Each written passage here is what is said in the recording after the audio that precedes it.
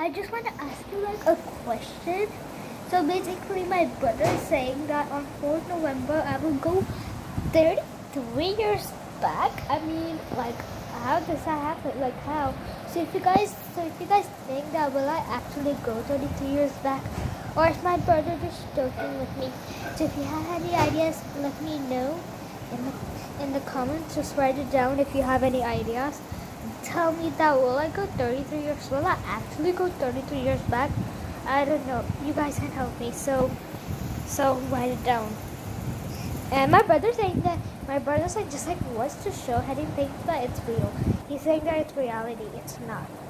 I don't know if it's reality or not, but but you guys, but if you guys write down in the comments, then I will believe it. So just comment now. But sister believes on this.